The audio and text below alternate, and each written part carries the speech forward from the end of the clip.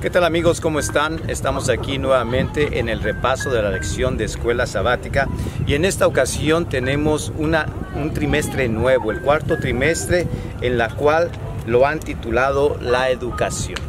Aquí nosotros vamos a aprender eh, en sí demasiadas cosas y la primera lección de este nuevo trimestre se llama la educación en el jardín del Edén. Muchos de nosotros tal vez nos preguntemos si había un salón de clases en el Jardín del Edén. Y yo déjame te contesto que sí, pero más adelante, conforme vayamos eh, avanzando en la lección, vamos a mirar ese gran libro de texto que nosotros teníamos como salón. Quiero uh, leer primeramente en el libro de Job, en el capítulo número 36, verso 22, algo muy importante que dice de la siguiente manera. He aquí que Dios es excelso en su poder, que ¿qué enseñador semejante a Él? Debemos entender una cosa. Instrucción e educación son dos cosas diferentes. Y fíjate, la instrucción tiene como objetivo informar y colocar conocimiento en este, en este cerebrito que nosotros tenemos. Más sin en cambio, la educación tiene como propósito transformar y hacer al ser humano una persona mejor. En esta lección nosotros vamos a poder ver algo muy importante que nos va a beneficiar tanto a ti como a mí, el poder ver a Dios como un maestro y, alguien que nos quiere enseñar algo muy importante. La mayoría de los estudiantes de la Biblia conocen la historia del Génesis del capítulo 1 al capítulo 3. Que de paso déjame decirte que el capítulo 3 mencionan algunos estudiosos que el capítulo 3 es el capítulo más triste de la Biblia. Pero como te digo, esto lo vamos a estar desarrollando a través de, uh, de la lección. Ahora bien, hay algo que llamó la atención en este estudio, que el espíritu de profecía dice lo siguiente. El sistema de educación establecido inicialmente en la Tierra debía ser siempre el modelo para la humanidad. En el Edén, el hogar de nuestros primeros padres, se fundó una escuela que ejemplificaría la aplicación de los principios del sistema. Y fíjense una cosa, el jardín del Edén era el aula, era el aula, la naturaleza, el libro de texto, y el maestro adivina quién era. Tienes razón, nuestro Señor Jesucristo. Recuerda una cosa también, no hay desarrollo sin educación. Tenemos que entender nosotros que a través de toda esta lección que vamos a estar eh, aprendiendo, cómo es que Jesús nos, eh, nos, nos habilita para poder tener un desarrollo mucho mejor. La primera lección que vamos a poder encontrar en esta oportunidad está en Génesis capítulo número 1, verso 27 y verso 28. Nosotros aquí vamos a ver y vas a poder ver ahí en pantalla lo que dice este texto. Génesis capítulo número 1, el verso número 27 y el verso número 28 dice de la siguiente manera. Y creó Dios al hombre, a su imagen, a imagen de Dios los creó, varón y hembra los creó. Verso número 28. Y los bendijo Dios y les dijo, fructificar y multiplicaos, llenad la tierra y sojuzgarla y señorear en los peces de la mar, en las aves de los cielos y en todas las bestias que se mueven sobre la tierra. Aquí nosotros vamos a poder ver la, primera, la primera enseñanza que Dios eh, nos enseñó. Primero que nada, en el verso número 27, miramos, miramos cómo Dios nos muestra la primera enseñanza. En el 26 dice, entonces dijo Dios. Aquí Dios se detiene para podernos enseñar algo muy importante. Que nosotros como seres humanos tenemos, tenemos que cuidar esta tierra y que tenemos nosotros la responsabilidad de poder no sojuzgarla. Eh, como muchos de la gente entiende mal esta, esta, pequeña palabra. En esta primera lección estaremos aprendiendo la responsabilidad, la responsabilidad de, de aprender a cuidar este mundo, este mundo que es el aula, este mundo que es nuestro, eh, nuestra, nuestro salón de clases. Ahora bien, el Señor fue fundador, director y maestro de esta primera escuela, pero como sabemos, Adán y Eva finalmente eligieron a otro maestro y aprendieron las lecciones equivocadas. Vamos a mostrarte vamos a mostrar algunas de las otras enseñanzas que nosotros tenemos en este momento. Por ejemplo, en Génesis capítulo número 1 y verso 29 también dice algo muy importante. Dice de la siguiente manera, y dijo, y, dijo Dios, he aquí que os he dado de toda planta de la semilla que está sobre toda la tierra y todo árbol que hay fruto y que, y que da semilla os serán por comer.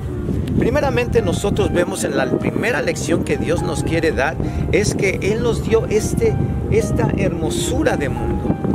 Y nosotros tenemos que tener el cuidado de poder eh, cuidarlo. Es importante que nosotros tenemos que, tenemos que cuidar este mundo.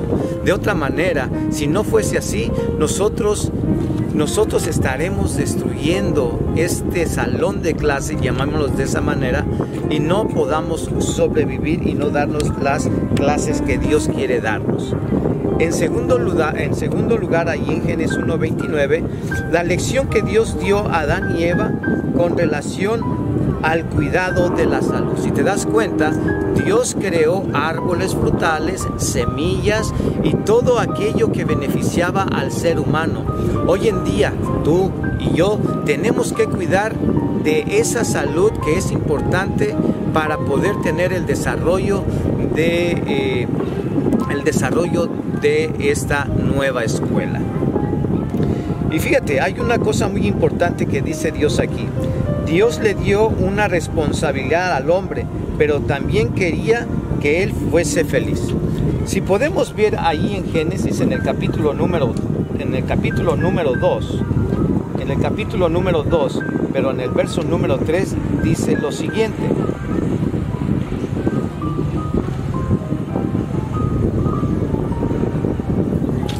Y bendijo Dios al día séptimo y lo santificó porque Él reposó de toda la obra que había hecho en la creación. Esta es una lección más en la cual Dios nos está enseñando que tenemos que cuidar nuestro, nuestro, nuestro descanso. Él nos enseñó a través del séptimo día que teníamos, teníamos que guardar ese día de reposo. La primera cosa que nosotros vimos y más bien que Adán y Eva vieron fue cómo mostrar a Adán y Eva poder, poder reposar en el día del Señor. Lo primero que hizo Jesús es poderles mostrar cómo poder descansar. Es por eso que Jesús, es por eso que Jesús en ese día nos enseña cómo poder tener reposo y tener una comunión con Él. Y a través de la Biblia y a través de todo lo que nos enseña esta lección, a través de la, de la, de la educación, vamos a aprender muchas cosas que nosotros debemos que tener mucho en cuenta. Fíjense lo que dice en lo que es eh, el, el lunes.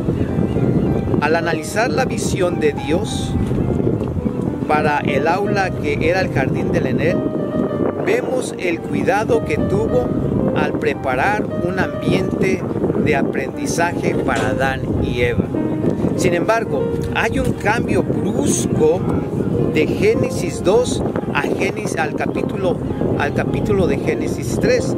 Hemos hecho un inventario de todo lo bueno que Dios creó con intención divina. Fíjense una cosa, en el, en el capítulo número 2 de Génesis vimos todo el resumen de todas las cosas que Dios, que Dios hizo.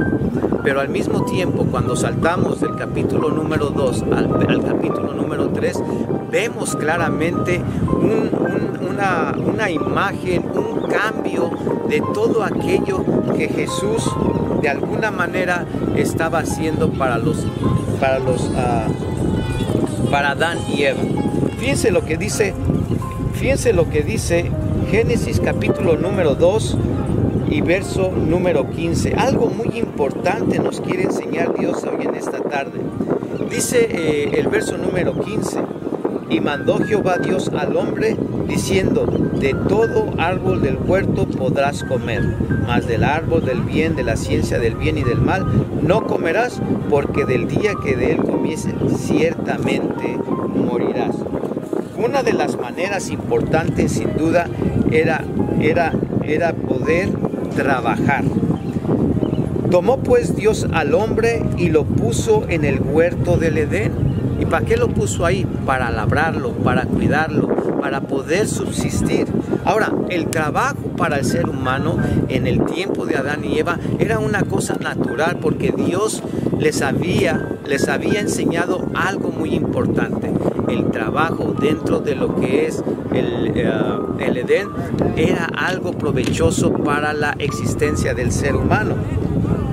Fíjense en lo que dice Génesis en el capítulo número en el capítulo número 2 y el verso número 17.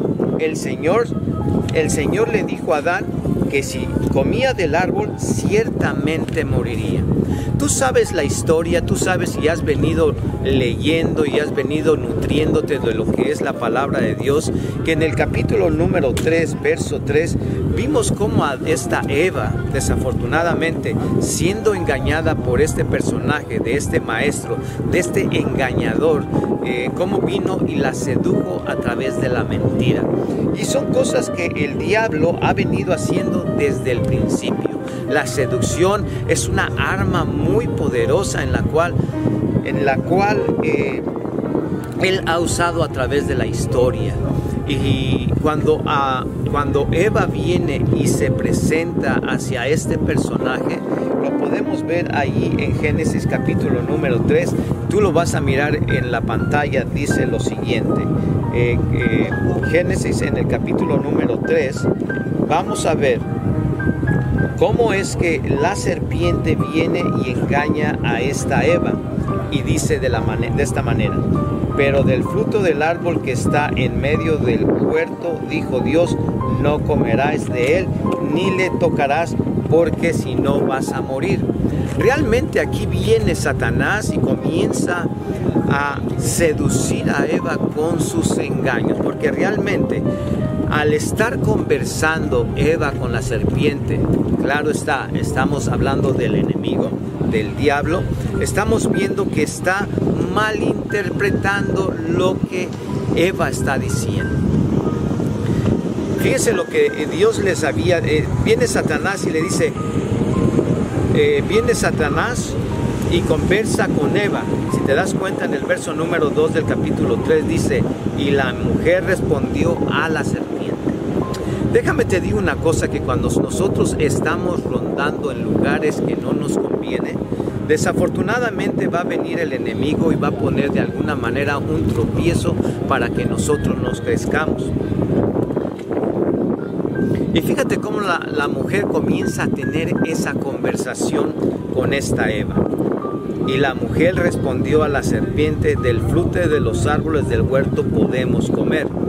Pero anteriormente el enemigo comienza y comienza a echar mentira de todo lo que éste estaba diciendo. La serpiente, una, uh, un animal muy inteligente, vino y se puso al lado de Eva o al, al, al, al, contrario, Eva estuvo alrededor de ese árbol que se nos dijo que no, que no estuviéramos en él.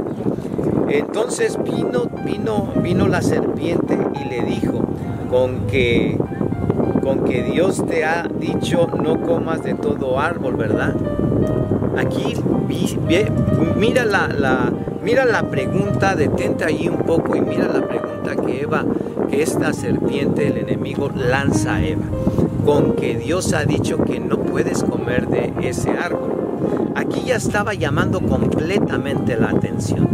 Si Eva al caminar alrededor de ese árbol que se le dijo que no comiera, y miró seguramente una serpiente volando, un animal que era extraordinariamente llamativo, trajo la atención de Eva y Eva se acercó de tal manera de que tuvo una conversación con el enemigo y ella contesta, del fruto de los árboles del huerto podemos comer.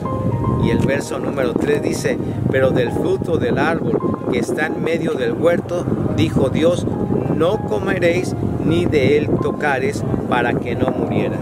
Realmente eh, nosotros cuando nos ponemos a dialogar con esa con, el enemigo de esa manera, sabemos que nosotros no vamos a poder derrotarlo o no vamos a poder por nuestras propias fuerzas seguir adelante porque el enemigo tiene un poder extraordinario que nosotros solos no podemos hacer. Aquí hay una gran lección en la escuela sabática en la cual yo te pido, yo te ruego que puedas tomar el tiempo de, de tener la lectura de los primeros tres capítulos de Génesis que son una gran herramienta en nuestro crecimiento espiritual. Vamos un poco más allá sobre lo que es la instrucción y cómo Jesús nos da las lecciones necesarias para que nosotros no podamos ser engañados. Fíjense una cosa, en Génesis en el capítulo número 3, verso 1 al 6, una de las artimañas del enemigo siempre es crear duda en nosotros. Y como bien ya dijimos, cuando, cuando Eva estuvo alrededor, alrededor de este árbol, eh, este personaje, este enemigo comienza, comienza a, tejer una red de, de, dudas para que la mujer pueda caer en sus garras.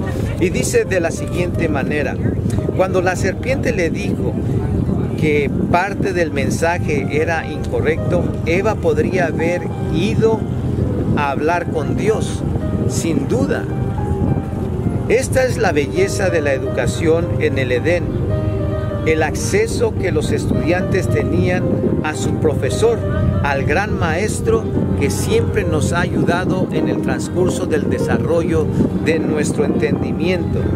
Sin embargo, en lugar de ir, en lugar de, ir al lugar a buscar ayuda divina, Eva aceptó el mensaje de la serpiente para que Eva aceptara la modificación del mensaje del mensaje por parte de la serpiente, era necesario que ella empezara a albergar algunas dudas sobre Dios y lo que éste le había dicho.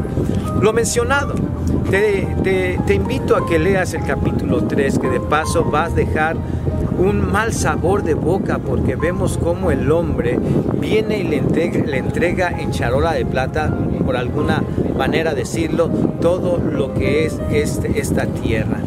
Eh, una de las cosas en lo que marca aquí la lección de escuela sabática es Piensa en esta ironía, fíjense esto, piensa en esta ironía engañosa. La serpiente dijo que si comía del árbol sería como Dios. Allá en Génesis capítulo número 3, verso 5 dice eso. Pero en Génesis capítulo número 1 y verso 27 dice de la siguiente manera, no dijo que ya eran como Dios. ¿Qué puede enseñarnos esto sobre cuál fácilmente podemos ser engañados?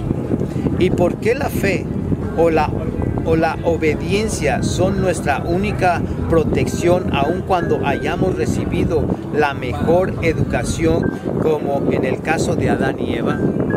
En el transcurso de la vida de Adán y Eva hay grandes lecciones las cuales hemos repasado ya muy superficialmente.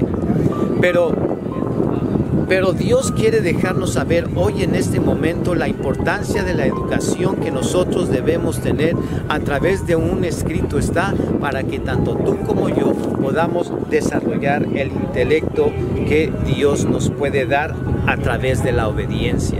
La obediencia es un, factor muy importante para que nosotros podamos llevar a, cabo las tareas que Jesús nos ha dejado a través de la responsabilidad y a través del el amor que nos mostró desde el principio.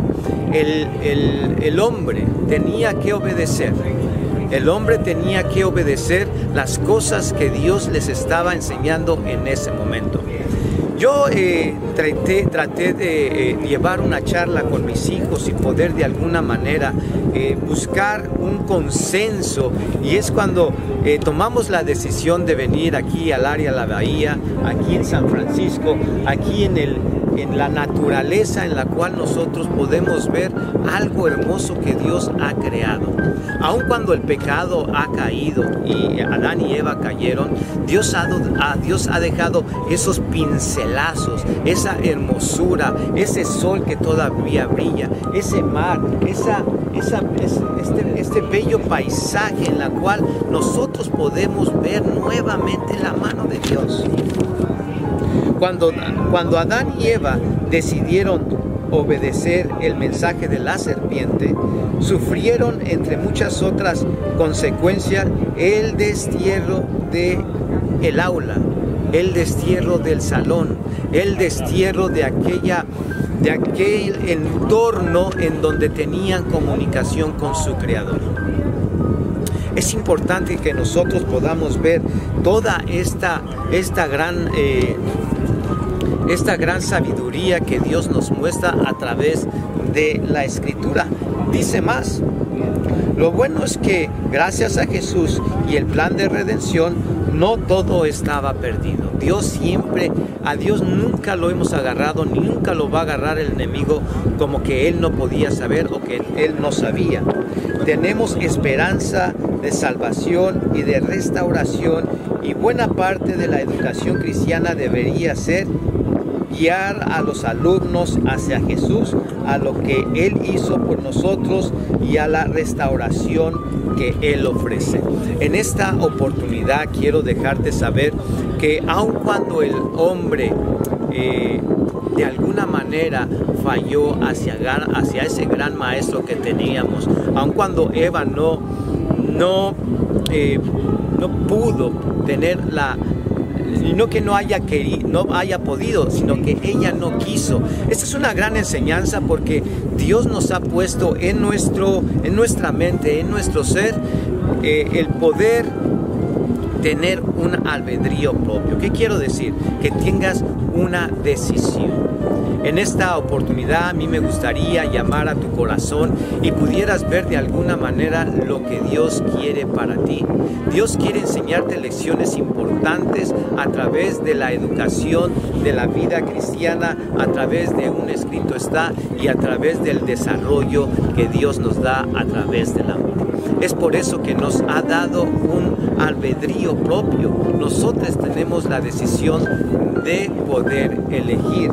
Desafortunadamente, Adán y Eva tuvieron eh, a, mal ver el consejo de un mal maestro.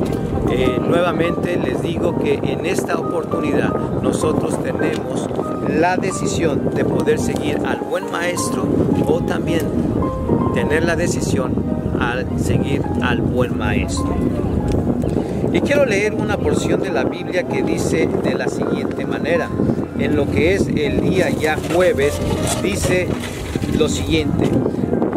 algunas, a algunos les cabe la expresión estudiantes innatos, refiriéndose a Adán y a Eva.